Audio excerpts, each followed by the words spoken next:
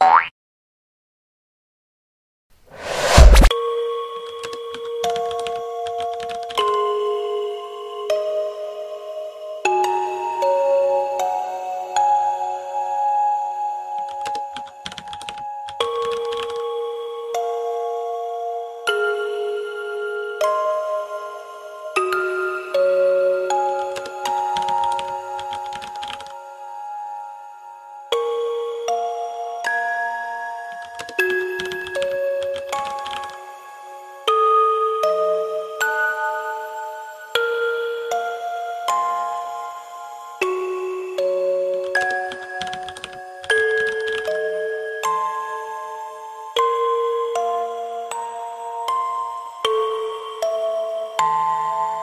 Support terus channel Portal Kucing dengan cara like, share, komen, dan juga subscribe.